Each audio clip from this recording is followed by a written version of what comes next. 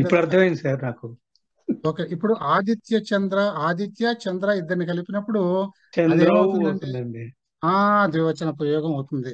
అదే నిన్న మనం కొంచెం అది అప్పుడు అది ఏమవుతుంది? దాన్ని ఇక్కడ కలుపుకుంటే ఏమవుతుందంటే ఇది మనకి అవు తర్వాత ఆ వస్తుందండి అక్కడ కరెక్ట్ అది. కరెక్ట్ అంతే కదా? అందరికీ అర్థమయ్యేలాగా కొంచెం దాన్ని విపులంగా చెప్తాను నేను దాన్ని. అందరికీ అర్థం అవ్వాలి కదా? ఒక్కసారి చెప్తాను నేను నాకు ఇప్పుడు ఇక్కడ ఏమవుతుందంటే ఇక్కడ చివరిలో అవ్వు ఉంది ఇక్కడ ఆ ఉంది. అవుకి అవునండి ఆపరమైనప్పుడు ఆవు అని ఆ వస్తుందండి. ఆ ఆవు వస్తుంది. అంచేత దీన్ని ఎలా రాయాలంటే ఆ ఆదిత్య చంద్ర చంద్ర అని అవుతుంది. ఇది చంద్రం అంటే చంద్ర ప్లస్ అవు కదండి. ఆదిత్య చంద్రం మీన్స్ ఆదిత్య చంద్ర ప్లస్ అవు ఇక్కడ అవు ఒకటి వచ్చింది ప్లస్ ఆ ఆ అవు అవు ఒకటి వచ్చింది. తర్వాత ప్లస్ అనిలహ ఇక్కడ ఆ వచ్చింది. ప్లస్ అనిలహ ఉందనుకోండి అనిలహ అలా ఉంచుదాము దాన్ని. అనిలహ ఇది ఒకటే మాట. మన ఎక్స్ప్లెనేషన్ కోసం విడదీశాను అక్కడ. ఇక్కడ అనిలహ ఇలా వచ్చింది కదండి.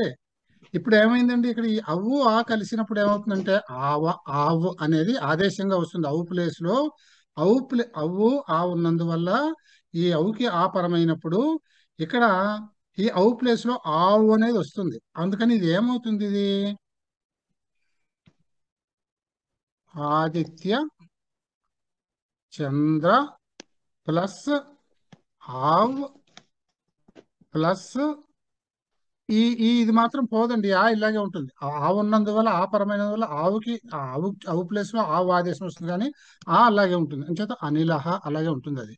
అంచేత ఇప్పుడు ఏమైంది? ఆదిత్య చంద్రావ్ అయింది ఇది. ఆదిత్య చంద్రావ్ ఇది సవర్ణ దీర్ఘ సంధి. ఆ ఇది అఖ దీర్ఘ అఖ దీర్ఘం అనేసి అది సవర్ణ దీర్ఘ సంధి సూత్రంతో ఆదిత్య చంద్రావ్. ఉవ్వు ప్లస్ అనిలహ వనిలహ. అంచేత ఆదిత్య చంద్రావ్ అనిలహ అది ఆ రకంగా ఆదిత్య చంద్ర వనిలహ అని వచ్చిందనమాట అంటే ఆదిత్య చంద్ర అనిల అని అర్థం అనమాట ఇప్పుడు ఇది ఇది మీకు డౌట్ తీరిపోయిందండి ఇది? నాకు తీరిపోయింది సార్ ఓకే అందరికి అందరికి ఇంకెవరికైనా డౌట్ అండి? నేనే అడిగాను మిమ్మల్ని. డౌట్ ఇప్పుడు ఒక్క నిమిషం. మీరు ఇంట్రెస్ట్ చూపించారు కనుక సంధి మీద సంధి మీద దీని సంధిని ఒక్కసారి మీకు నేను ఒక రెండు నిమిషాల్లో ఎక్స్ప్లెయిన్ చేస్తాను. అది కూడా తెలుసుకుందాం. మనం ఆవు ఎందుకు వచ్చిందో ఎలా వస్తుందో అది కూడా మనం తెలుసుకుందాము. అయితే మీకు సిలబస్లో సంధి ప్రకరణం లేదండి. మీకున్న ప్రకరణాలు ఓన్లీ ఆ ఆ, విభక్తి ప్రకరణం అంటే కారక ప్రకరణం సమాస ప్రకరణం ఈ రెండే ఉన్నాయి. సరే ఛందస్సు సందులో వేరే అనుకోండి. ఛందస్సును ఆ అర్ధాలంకారాలు అవి వేరే టాపిక్స్ అవి. ఈ గ్రామర్కి సంబంధించి మీకు సమాస ప్రకరణం తర్వాత విభక్తి ప్రకరణం కారక ప్రకరణం ఈ రెండే ఉన్నాయి. సంధి ప్రకరణం లేదు. అయినా మనం మీ ఇంట్రెస్ట్ చూపించారు కనుక ఇది ఒకసారి చెప్తాను. ఈ సంధిని ఏమంటారంటే అంటే ఎన్ని పేర్లు ఉన్నాయో చూడండి దీనికి. దీనికి ఎన్ని రకాలుగా చెప్తారంటే దీనికి పేర్లు? అయాది సంధి. అయాది సంధి ఇది ఒక పేరండి దీనికి.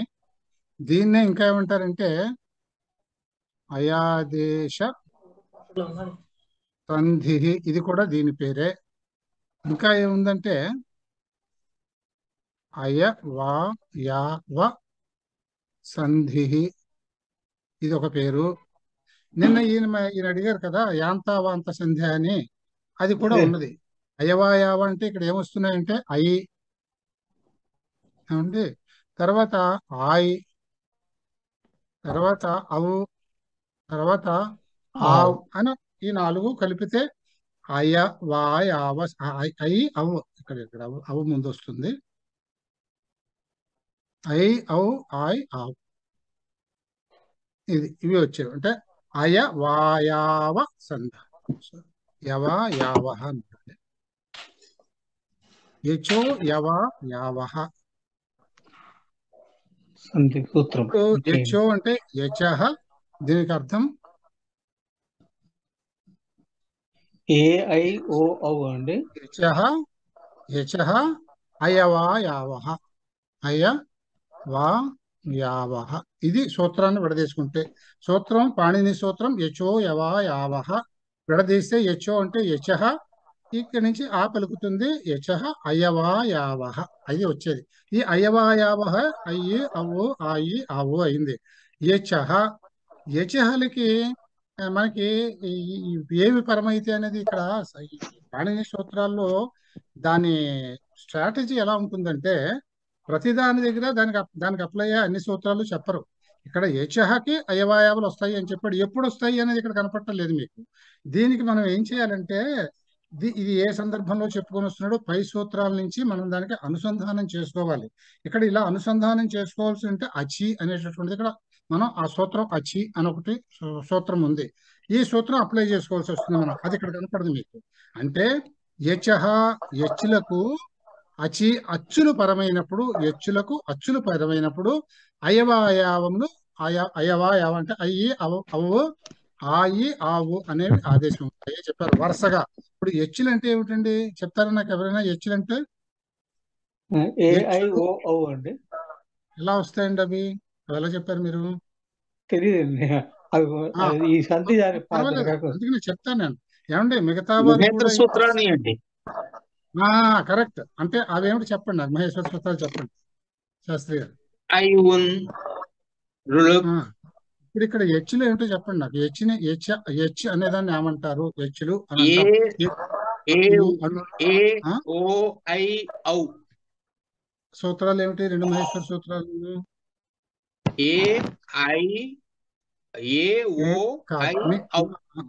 మీకు ఏ ఓ ఏ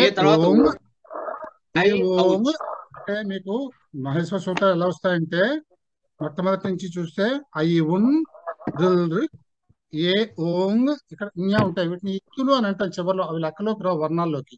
ఈ రెండే వర్ణాలు వస్తాయి. ఏ ఓంగ్ అంటే ఎలా ఉంటుందంటే యాక్చువల్గా కలిపేసి ఉంటాయి. నేను మీకు అర్థం కాని విడిగా రాస్తే మీకు కొంచెం కన్ఫ్యూజన్ వచ్చే అవకాశం ఉంటుంది. ఏ ఓంగ్ సారీ ఇది ఇది రాయాలి. ఏ ఓంగ్ ఇక్కడ మళ్ళీ తర్వాత తర్వాత మహేశ్వర సూత్రం ఐ ఔచ్. I ouch. ఇది వస్తుంది. ఈ రెండు కలిపితే ఏమవుతుందంటే ఇక్కడ చూడండి. ఏ ఓం ఐ ఔచ్. ఈ చివరుండే ఉంగ్ ఇక్కడ ఉండే ఇచ్చు వీటిని ఎత్తులు అని అంటాం మనం. ఇత్ సంజ్ఞలు అని అంటాం వీటిని. ఈ ఎత్తులు అనేవి రావన్నమాట. ఈ ఎత్తులు ఈ అనేవి మనం ఒక ప్రత్యేకంగా కొన్ని కొన్ని అక్షరాలని గ్రహించడానికి గాను ఏర్పాటు చేసిన బ్రేకుల కోసం ఇది కోడింగ్ అంటాం. ఈ కోడింగ్ అని పెట్టారు. ఇవి ప్రయోగంలో రావు. అంచేత ఇందులో ఉన్న నాలుగు అక్షరాలు అంటే ఏ ఓ ఐ ఔ ఇవి ఉన్న అక్షరాలు. హెచ్లో అని ఎందుకన్నాడంటే ఏ నుంచి ప్రారంభించి ఈ చివరిని మీకు ఏదైతే ఇత్ సంధి చెప్పా ఇత్ చెప్పారో హెచ్ అన్నాడుగా ఈ ఇచ్చి ఇత్సంజ్ఞగా ఉండేంత వరకు ఈ మధ్యలో ఉన్నటువంటి అక్షరాలన్నీ లెక్క కట్టాలి. దీన్నే ప్రత్యాహారము అని అంటాం మనం. అంచేత ఇక్కడ హెచ్ అనేది ఒక ప్రత్యాహారం. హెచ్లో ఉండే రెండు మహేశ్వర సూత్రాలు ఏమిటంటే ఏ ఓ ఐ ఔచ్. అంటే ఉంగ్ అచ్చి తీసేసి ఏ ఓ ఐ ఔ ఈ నాలుగు లెటర్స్ వస్తాయన్నమాట. అంచేత మనం ఇక్కడ ఏం చేద్దాము? దీన్ని ఏ ఓ ఐ ఔ ఈ నాలుగు అక్షరాలు వచ్చాయి. వీటికి వరుసగా ఇప్పుడు ఏమవుతుందంటే మనకి అచి ఈ మనం ఇక్కడ ఏర్పాటు పరమవుతున్నది ఏమిటి? అచి అంటే అచ్చు పరమైనప్పుడు అచ్చుపరమైన సందర్భంలో. అచి అంటే అచ్చుకి అచ్చు అంటే దానికి సప్తమి ప్రయోగం అచి. అచి పరమైనప్పుడు మీకు ఏ దేటికి ఏవో ఐవోలు అంటే దీన్ని ఏమన్నా? ఏచహ అచి అయవాయావ అని అర్థం. అచి అనేది మనం పైనుంచి అడాప్ట్ చేసుకున్నాం. ఇక్కడ ఈ సూత్రంలో మీకు ఇది కనపడకపోవచ్చును. ఇది మనం తెచ్చుకోవాలి. పైనుంచి అనువర్తన చేసుకోవడము చేసుకునడము అంటాం దీన్ని. అంచేత ఈ ఏకి వరుసగా అచ్చులంటే ఏమిటండి? అచ్చులంటే ఏమిటండి? మీకు చూడండి. ఐ అచ్చులు కూడా ఒక ప్రత్యాహారమే. అచ్చులంటే ఏమిటంటే అర్థం కావడానికి కాస్త విడివిడిగా రాద్దాం. ఈ మూడు గ్రూపులుగా తీసుకుంటే మీకు ఇందులో విశేషం ఏమిటంటే ఈ ఏ అనేది అంటే మనకి ఎప్పుడు సంధి జరిగేది? రెండు పదాల మధ్యన సంధి జరుగుతుంది. మొదటి పదానికి అంత్యాక్షరము అది ఉన్నటువంటిది పూర్వాక్షరము అంటాము పూర్వవర్ణము అని అంటాము. రెండో పదంలో ఆది అక్షరాన్ని ఆది వర్ణము అని అంటాం. ఈ వర్ణానికి ఈ వర్ణం పరం అవుతుంది అంటే ఇవి సంయోగం చెంది ఒక సంధి ఏర్పాటు అవుతుంది రెండు మాటలు కలిసి ఒక మాట అవుతుంది. ఈ సంధి ఏర్పాటైనప్పుడు ఈ పూర్వం ఉందనుకోండి. పూర్వంలో ఆగాని ఆగాని ఉంటే ఈ గ్రూప్ని సేమనం ఏమందాం అంటే దీన్ని? ఏ గ్రూప్ అందాం. ఆ గ్రూప్ ఉందాం పోనీ ఏదో ఒకటి సంథింగ్ ఇది ఫస్ట్ గ్రూప్ పోనీ. ఇదేమో సెకండ్ గ్రూపు ఇదేమో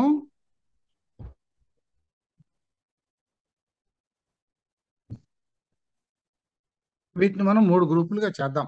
ఆ అచ్చులు ఒక గ్రూపు ఈ ఉరూరు రెండో గ్రూపు ఏఐఓ ఓ అనేది మూడో గ్రూపు. ఈ మూడు గ్రూపులు చేసిన తర్వాత ఈ ఫస్ట్ గ్రూప్కి ఈ సెకండ్ గ్రూపులో ఉన్న ఏ అక్షరమైనా కానీ పరమైతే మనకు వచ్చేదాన్ని గుణసంధి అంటామండి అదేం గుణ అనేది గుణాలకు సూత్రం అండి. అదేంగ్ అంటే అత్ ప్లస్ ఏంగ్ అత్ అంటే ఏమిటంటే అకారము అని అర్థం. అత్ ఉత్ అనేది మళ్ళీ ఇత్సంజ కింద పోతుంది. అత్ అంటే ఉత్తి అకారము అకారము అని య- అకారము అంచేత అదేంగ్ అంటే ఏంగ్ అత్ ప్లస్ ఏంగ్ ఏంగ్ అంటే ఏమిటంటే ఏ ఓంగ్ అని చెప్పుకున్నాం కదండి? ఏ ఓంగ్ అని మనం ప్రతి ఒక్క ప్రాణి మహేశ్వర సూత్రం చెప్పుకున్నాం. అంటే ఏ ఓలు ఏంగ్ అంటే ఏ ఓలు అని అర్థం. అత్ ఏంగ్ అంటే ఆ ఏ ఓ. ఈ మూడు అక్షరాలని గుణాలు అని అన్నారు. అదేంగ్ గుణ అనే దానికి సూత్రం. అలాగే మీకు వృద్ధులు అనేది ఇంకొకటి. వృద్ధులు అనేవి ఏ అక్షరాలు అవుతాయంటే దీన్ని వృద్ధి రాదేచ్ అని అంటారు. పాణిని పుస్తకంలో మొట్టమొదటి సూత్రం ఇదే. వృద్ధి రాదేచ్ అంటే వృద్ధి ఆత్ ఐచ్ ఏవి వృద్ధులు అంటే ఆత్. ఇందాక గుణాల్లో పొట్టి ఆకారం వస్తే ఇక్కడ దీర్ఘ ఆకారం ఆ ఆ ఆ. వృద్ధి ఆ ఐచ్. ఐచ్ అంటే ఏమిటి? ఐ ఔచ్. ఏ ఓం ఐ ఔచ్ అని చెప్పుకున్నాం. ఐచ్ అంటే ఐ ఔ అని అర్థం. ఆ ఐ ఔ ఈ మూడింటిని వృద్ధులు అంటారు. అంటే ఇప్పుడు దీనివల్ల ఏమవుతుందంటే మనకి ఈ గుణాలు వచ్చేటోట అంటే రెండు సం- రెండు అక్షరాలు కలిసి సంధి ఏర్పడినప్పుడు పూర్వపర అక్షరాలు కలిపి సంధి ఏర్పాటు అయినప్పుడు అక్కడ మనకి వచ్చేది గుణాలైనా అయి ఉంటుంది వృద్ధులైనా అయి ఉంటాయి. అంచేది ఇక్కడ ఇంకా వేరే రకంగా కూడా ఉంటాయి. అది కూడా చూద్దాం. ఇప్పుడు ఈ రెండింటికి ఏమిటంటే ఈ ఆ ఆలకి ఇది ఏది పరమైనా కూడా మొదటి గ్రూపులో ఉన్న అచ్చుకి ఇవన్నీ అచ్చులండి. మర్చిపోయి ముందు మాట తెలుసుకోవాల్సింది మీరు.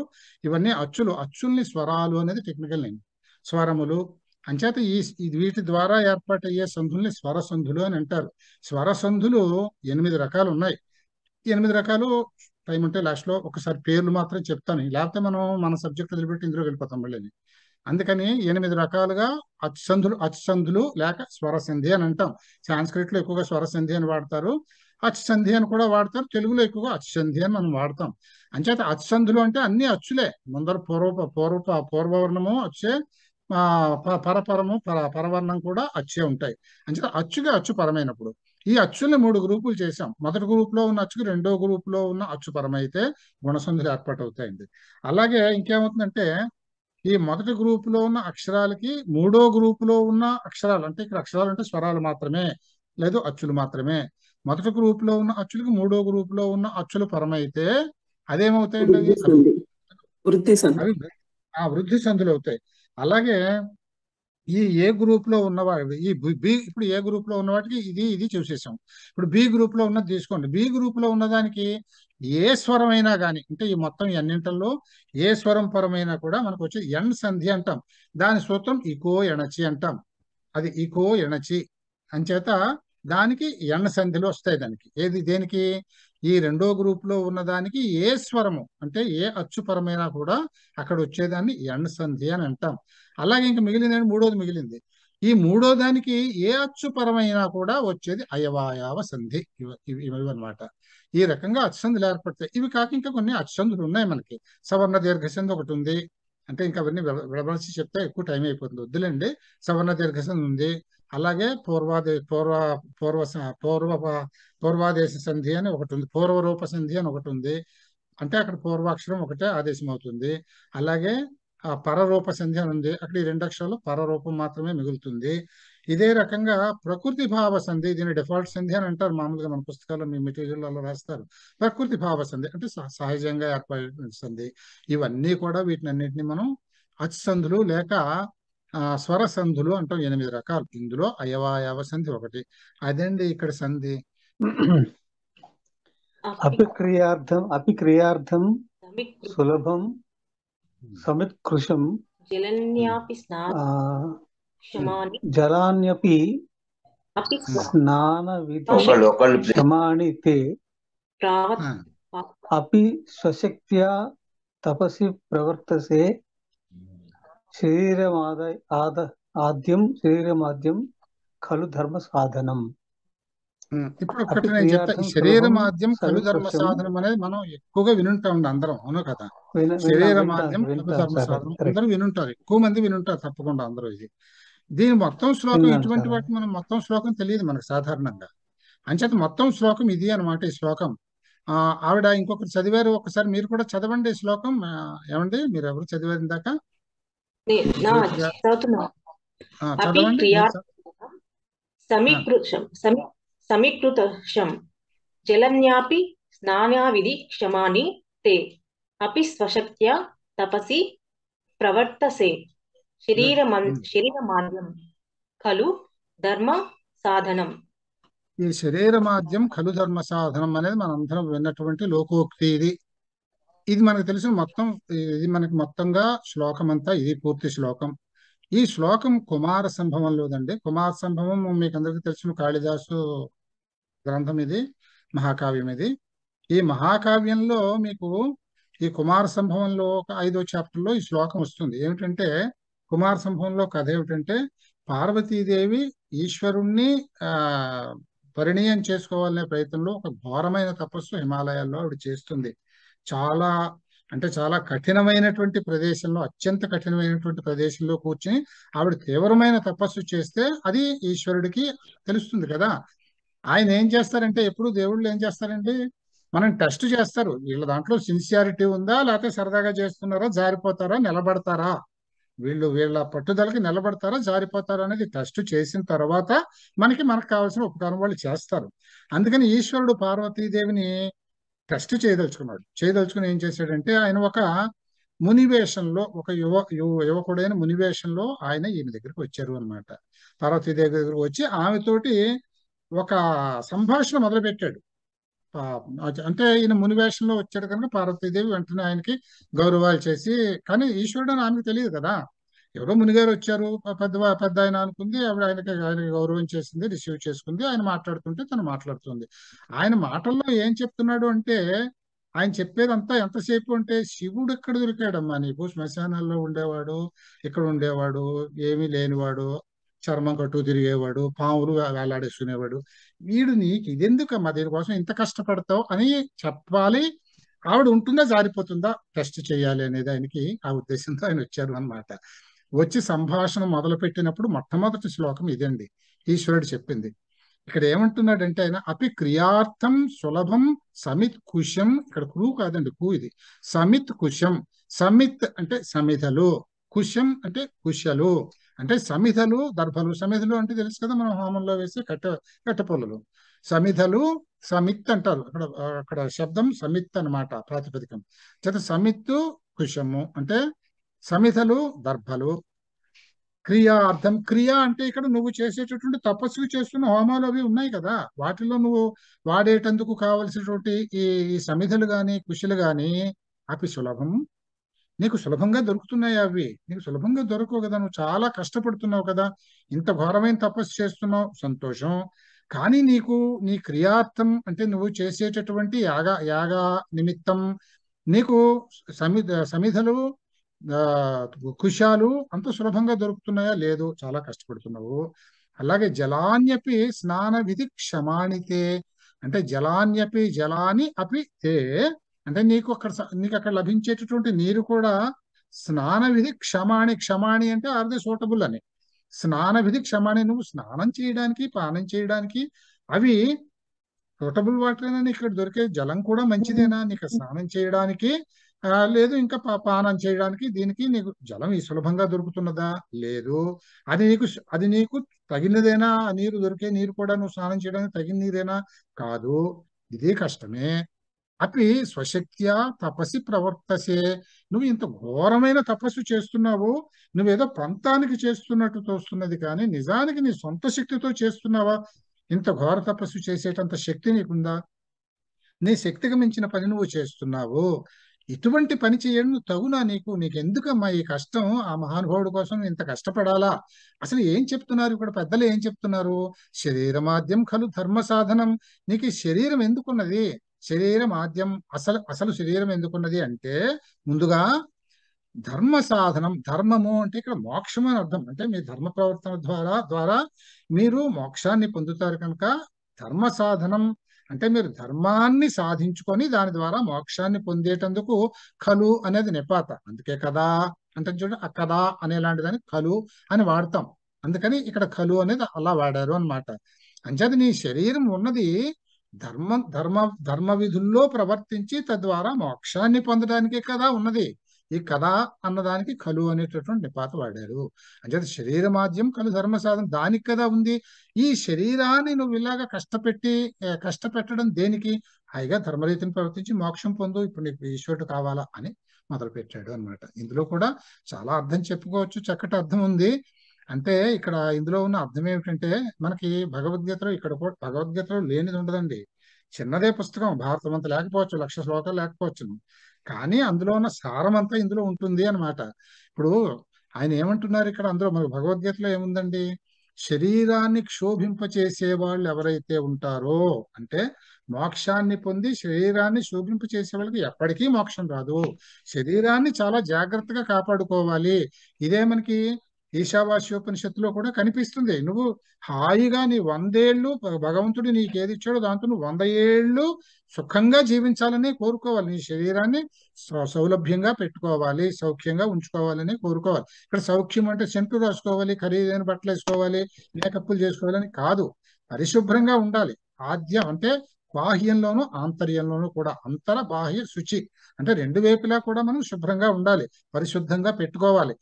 మనం శరీరాన్ని చక్కగా కాపాడుకోవాలి దాన్ని పోషించుకోవాలి. ఎందుకండి? శరీరం బాగులేకపోతే మీరు ఏది కూడా సాధించలేరు మీరు. శరీరం బాగులేకపోతే ఇంక దేంతో సాధిస్తారు మీరు? జీవుడు ఈ శరీరాన్ని అంటే మనకి పంచభౌతిక శరీరాన్ని ఎందుకు ఆశ్రయిస్తే జీవుడు పట్టుకొని ఉంటాడు అంటే దాన్ని అట్టబెట్టుకుంటాడు అని అంటే జీ జీవుడు అనేవాడు ఆయనకి మొట్టమొదలు ఆది మనకు ఎప్పుడూ తెలియదు. ఏ విషయంలో ఆది తెలియదు. ఎలాగో ఆయనకి ఒక దేహం ఏర్పడింది.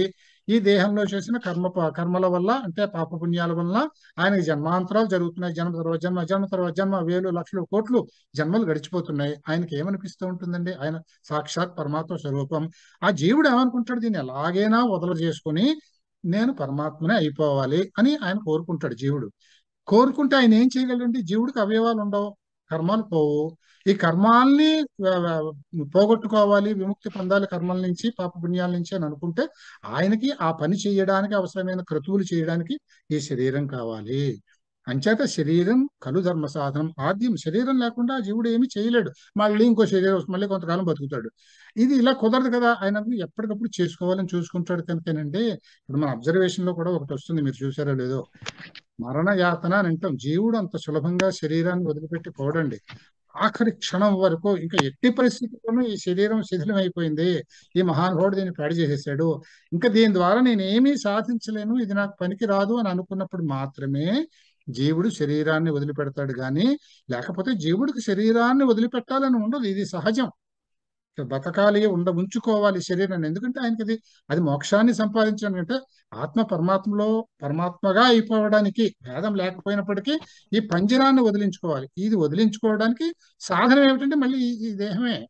అంచేత ఆయన దేహాన్ని వదులుకోవాలని అనుకోడు. కానీ మన మనస్సు ఉందే ఇది ఎంతసేపు ఆయన చెప్పిన మాట వినకుండా ఇది మన పక్కదారులకు లాగి మనం లొంగిపోయి ఆ ఆ మోక్షాన్ని సాధించలేక మరొక జన్మం సాధిస్తాం మరణం మరణం తర్వాత. ఇది జరిగేది. చేత దీనికోసం నువ్వు శరీరాన్ని చక్కగా ఉంచుకొని ధర్మ ధర్మ మార్గంలో ప్రవర్తించి నువ్వు మోక్షాన్ని పొందాలి కానీ ఈ కష్టం అంతా నీకెందుకమ్మా అని మొదలు పెడతాడు. ఆ సందర్భంలో చెప్పిన పద్యం అండి ఇది. గుణేరుత్తమతాం యాతి నా ఉచ్చేర ఉచ్చేరాసన సంస్థిత. ప్రాసాద శిఖరస్థో శిఖరస్థోపి కాకః కిం గరుడాయతే ఇంకొకసారి చదువుతాను సార్ గుణైరుత్తమతాం యాతి నోచ్చరా నో నో ఉచ్చైరాసన సంస్థితం సంస్థితः ప్రాసాద శిఖరస్థోపి కాకః కిం గరుడాయతే దీని అర్థం one achieves greatness because of one's qualities, not because of a, a high position. Even if placed at the top of the palace, a crow does not become an eagle. Thank you, hmm.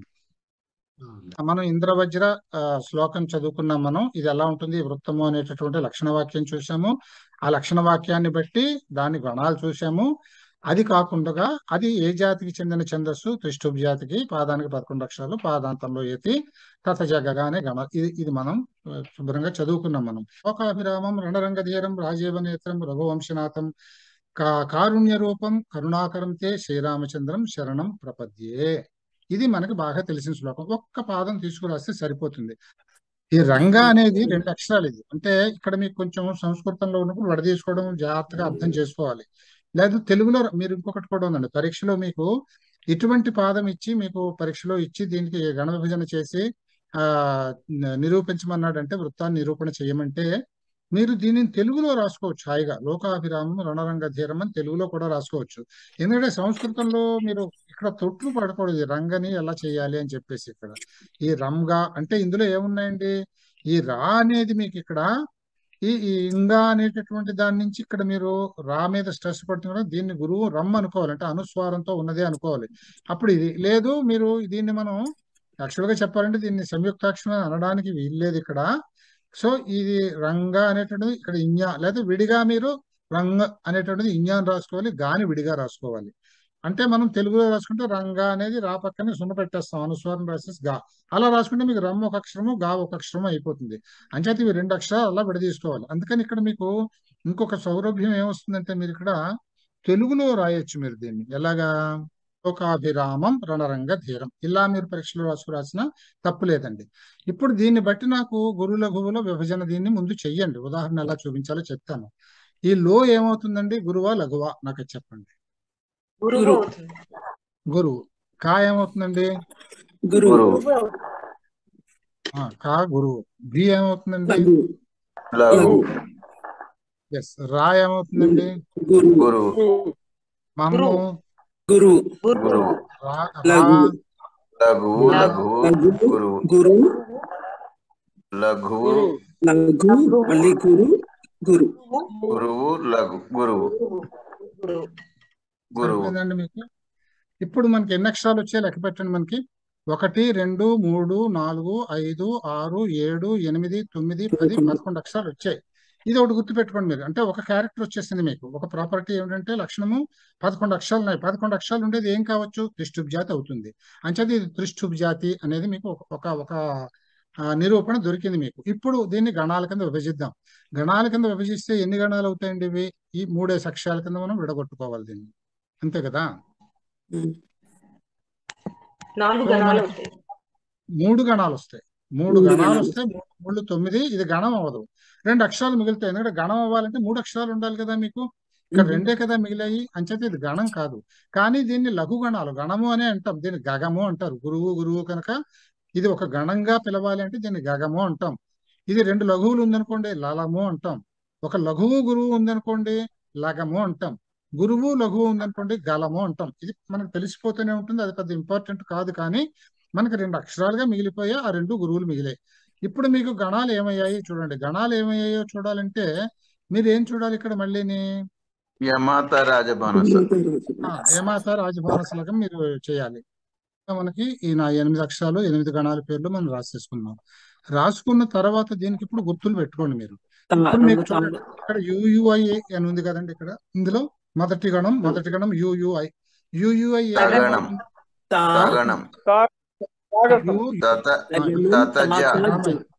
ఇది అయిందండి. అందుకో అందరినీ అందుకోనివ్వండి. కొంచెం అందరూ follow అవుతే బాగుంటుంది. అంచేత ఇక్కడ మీకు ఏమైంది? మొదటి గణం ఏమైంది? తా అయింది.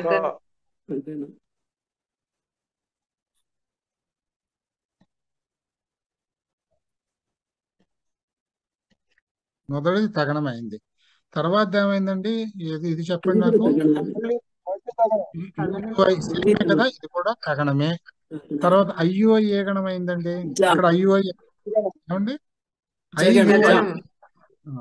అయింది అంటే మీరు ఐయుఐ చూస్తే మొదటి అక్షరం పైన ఏమున్నదో మొదటి గుర్తింపు చేసిన లఘువు పైన ఏముందో ఆ గణం అయినట్టు. ఐయుఐ జగనం అవుతుంది అంచేత. జా. ఇవి రెండు గురువులు. గురువుని గా అని గుర్తిస్తాం మనం. గా అండ్ ఇది తత జగగా అని వచ్చింది.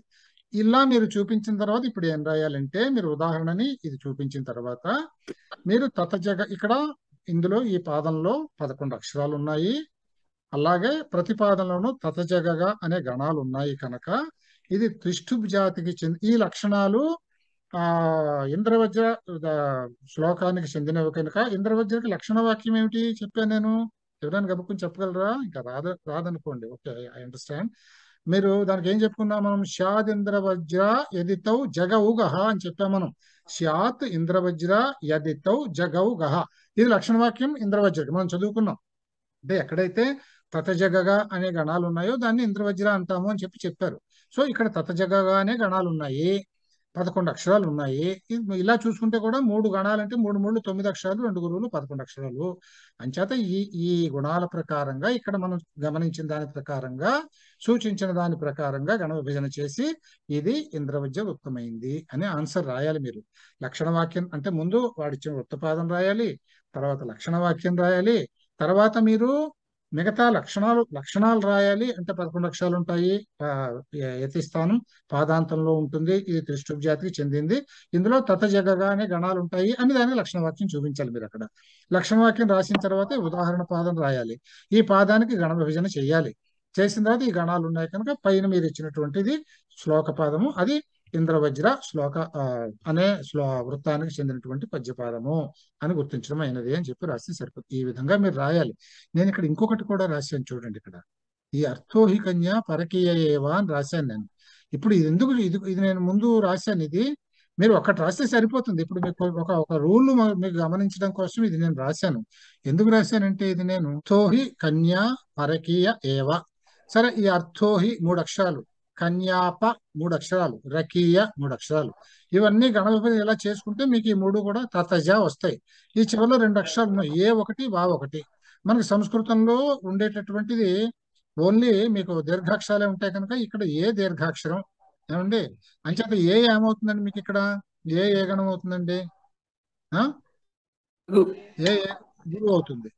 గురువు. ఓకే. సారీ. గురువు అవుతుంది. ఏ అనేది గురువు అయింది. వా అనేది ఏమవుతుందండి? లఘు అవుతుంది. గురువు కింద రాసుకోవచ్చు ఇప్పుడు నేను ఇది ఎందుకు చూపించానంటే మీకు ఇప్పుడు మనకి ఇది కానీ మీకు ఇంద్రవజ్ర వృత్తం కావాలంటే తతజ గగా అని రావాలి. గగా బదులు ఇక్కడ గురువు వద్దు. గా అనే రాతండి గల గల వచ్చింది. అంచేత గురువు లఘువు వచ్చాయి కానీ మనకి ఇంద్రవజ్ర వృత్తానికి ఏముండాలండి? గురువు గురువు ఉండాలి. ఇక్కడ లఘు ఉంది. ఈ సందర్భంలో నేను ఇదొక సూత్రం మీకు ఐదో సూత్రం చెప్పాను. అంటే అవసరమైతే మీ ఛందస్సుకి అవసరమైతే ఆఖరణ పాదాంతంలో ఉండే అక్షరాన్ని మాత్రం అది లఘు అయితే గురువుగా అనుకోవచ్చు. అంచేత ఇక్కడ వా లఘు అయినప్పటికీ మీరు గురువు అనుకోవచ్చును. కానీ ఇక్కడ గురువు అని రాయడం తప్పు తప్పు కనపడుతుంది కనుక మీరు రాసేది లఘు అనే రాయండి. లఘు అనే రాసినా కానీ మీరు కింద రాసిన ఎక్స్ప్లెనేషన్లో ఇక్కడ పాదాంతాక్షరం లఘు అయినప్పటికీ గురువుగా గ్రహించటం వలన ఇది ఇంద్రవజ్ర వృత్తానికి ఇంద్రవజ్ర కోవకి కోవకి చెందిన వృత్తము అని చెప్పి మనం రాయవచ్చును అన్నమాట. ఈ రకంగా మనం రాయాలి. మీకు ఇదంతా అర్థమైందా లేదా ఇంతవరకు చెప్పింది? లేదంటే నాకు చెప్పండి. నేను ఎక్కడ మీకు అర్థం కాలేదంటే క్లారిటీ లేదంటే అక్కడ నేను మళ్ళీ మీకు రిపీట్ చేసి చూపిస్తాను. మళ్ళీ రిపీట్ చేసి చెప్తాను. ఏమండి? అర్థమైంది. క్లియర్గా ఉందండి. ఒకసారి నాకు ఆ ఏది చెప్పండి నేను ఒకసారి నేను కొంచెం క్లాస్ మిస్ అయ్యాను కదా ముందర. ఇదే అండి ఇదే ఏవనా ఇక్కడ అవునండి. ఇదేనా అండి? ఫస్ట్ పదం. ఆ, ఏదే అండి? మీరు ఎవరో ఒక్కరు అడగండి. మీరు అడిగేది ఎవరు? ముందు అడిగింది ఎవరండి? ఏవా అనేది దాని ఏ అదే ఏవ ఏవా గురించేనా అండి? దీని గురించేనా. మీరు అడిగింది. ఇప్పుడు మనకి ఈ ఈ ఈ మనకి ఇంద్రవజ్ర అనే వృత్తంలో గణాలు ఏం చెప్పుకున్నామండి? తతజ గగ. మనం దానికి నేను మీరు నా- నా యూట్యూబ్ లెక్చర్ క్లోజ్గా వినండి. పర్వాలేదు ఒక అరగంట వినండి మీరు అది. అందులో మీకు ఆ గణాలు ఎలా వస్తాయి మీకు లక్షణ వాక్యం నుంచి చెప్పాను. షాదింద్ర వజ్ర ఎదితౌ జగవు గహ అని చెప్పాను. తవ్వు అంటే రెండు తగణాలు జగవు అంటే ఒక జగనము ఒక గురువు గహ అంటే ఒక గురువు. ఆ రకంగా ఇంద్రవజ్రలో మీకు తతజ గగ అనేటటువంటి గణాలు ఉన్నాయి. ఇప్పుడు ఇక్కడ దీనికి మీరు గణ విభజన చేస్తే వీటికి కూడా చెయ్యండి మీకు ఇలాగే వస్తాయి ఇవే విభజన వస్తాయి. చివరిలో ఎందుకు చూపించాలంటే ఇదంతా మళ్ళీ ఇక్కడ చేయడం మనకి కాలం వృధా చేసుకోవడం ఎందుకు అని చేయలేదు మీరు చేసుకుని చూసుకోవచ్చు. ఇక్కడ అయితే ఏ అనేది దీర్ఘమే హ్రస్వాక్షరం ఏ లేదు పొట్టి ఏ లేదు సంస్కృతంలో కనుక ఏ అనేది గురువు అయింది. ఈ వా అనేది లఘువు అయింది. అప్పుడు దీన్ని మీరు కానీ ఈ పద్యపాదం దేనిదని చెప్తున్నాం మనం? ఇంద్రవజ్ర వృత్తంలో పద్యపాదం అని చెప్తున్నాం. చెప్పాలి అంటే చివరిలో గురువు ఉండాలి కదా ఇక్కడ గా గా ఇది కరెక్ట్. ఇక్కడ గా లేదు లఘువు ఉంది. ఎందుకు లఘువు ఉన్నది? లఘువు ఉన్నప్పుడు మీరు ఎలా ఇంద్రవజ్ర అంటారు అని అంటే సంస్కృత ఛందస్సులో మనకి ఒక ఒక- పాలసీ ఉన్నది. అంటే దాన్ని మనం ఒక సౌలభ్యం అనుకోండి. అది ఏమని చెప్పారు అని అంటే మీరు ఇప్పుడు దీన్ని ఇంద్రవజ్ర అని పిలవడానికి రెండు రెండు గురువులు ఉండాల్సి ఉండగా అంత్య అక్షరం గురువు లేకపోయినా లఘువు అయినా కానీ దాన్ని గురువు అనుకోండి. తప్పులేదు అనుకుంటే అప్పుడు రెండు గురువులు అయిందిగా ఆ రకంగా ఇది ఇంద్రవజ్రవృత్తం అయింది అని చెప్పొచ్చు మీరు అని మనకి ఒక సులుబాటు ఉంది అక్కడ. ఆ ప్రకారం చెప్పాం అది దేనికి ఉందండి అంత్యాక్షరానికే ఉంది. అదే ఇది కనుక లఘువైంది అనుకోండి అది ఇంద్రవజ్రవృత్తం కాదు ఇంకా. పోయినట్లే. దీన్ని లఘువు అయితే గురువు అనుకోవడానికి లేదు. పాదాంత అక్షరంలో మాత్రమే లఘువైనప్పటికీ మీ ఛందస్సుకి అవసరమైతే దాన్ని గురువుగా మీరు తీసుకునవచ్చును గ్రహించవచ్చును. అవసరమైతే లేదు ఇక్కడ లఘువే ఉండాలి అనుకుంటే లఘువుగా కూడా తీసుకోవచ్చు. గురువుగా తీసుకోవడం తప్పనిసరి అని కాదు. అవసరమైతే గురువుగా తీసుకునవచ్చు అలా తీసుకుంటే గగా అవుతుంది కనుక తత జగగా అయిపోతే ఇది అప్పుడు ఇంద్రవజ్రవృత్తం ఆ, ఛందస్సుకి సరిపోయింది కనుక ఇది ఇంద్ర ఇంద్రవజ్రకి చెందినటువంటి శ్లోకము అని చెప్పి చెప్పచ్చు మనం. వృత్తము అని చెప్పి చెప్పచ్చు. రేపు లేదుగా మళ్ళీ నెక్స్ట్ వీకే ఇంకా. ఉపేంద్ర వజ్ర ఉపజాతి ఇంక ఇలా వెళ్ళిపోదాం. ఇప్పుడు దీన్ని తరోగా మనం నల్లగొట్టుకొని చూసేసాం మనం. చూసేసాం కనుక ఇప్పుడు ఏం చేయాలంటే మనం ఇక్కడ నుంచి కొంచెం ఫాస్ట్గా వెళ్ళే శక్తి మనకు వస్తుంది. మీకు అర్థమైపోతుంది. నేను చూపిస్తా. దీన్ని కూడా ఎలాగ మనం గణ విభజన చేయాలో ఇది కూడా నేను చూపిస్తానండి. మళ్ళీ మనం నెక్స్ట్ క్లాస్లో కలుస్తాం. మళ్ళీ నెక్స్ట్ వెడ్నెస్డే అందుకని ఇక్కడికి ఆప్ అది